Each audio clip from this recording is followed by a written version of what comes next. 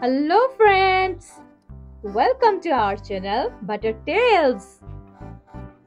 Today we are going to have a story of Peppa Pig, our favorite Peppa Pig.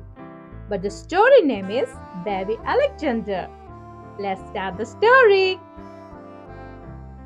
Today Peppa and George's cousins are coming to visit. Wow wow! Hello, Peppa. Hello, George. Cousin Chloe shouts over her brother's crying. Hello, baby Alexander, says Peppa, smiling. Can't talk, Peppa. Replies Chloe. So, how do you know what he wants? asks Peppa. We guess, replies Uncle Pig. And I'm guessing he's hungry. Why don't you feed him, Peppa? suggests Auntie Pig.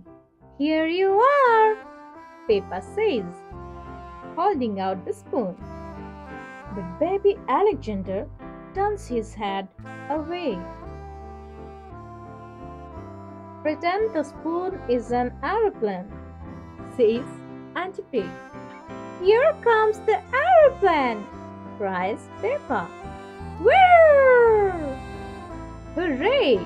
Baby Alexander has swallowed a mouthful.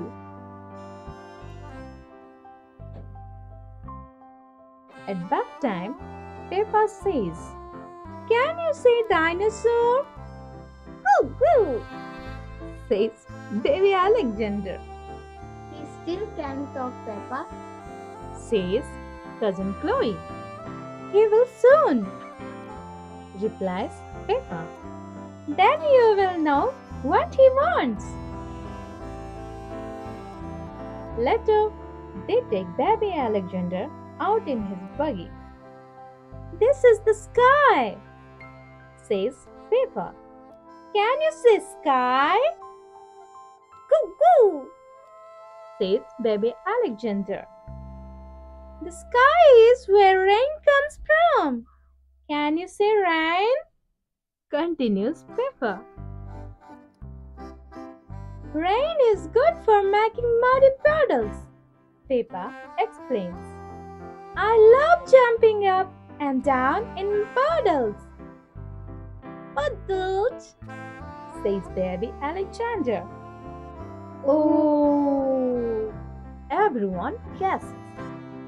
Alexander has said his first word, exclaims Auntie Pig. Puddles. Hooray! Puddles! Everyone shouts together. And I taught him to say it, says Peppa proudly. Puddles! says baby Alexander.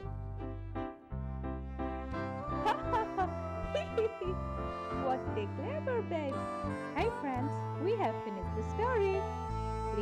like, share and subscribe to our channel. Meet you in next video with a new story. Till then, bye-bye.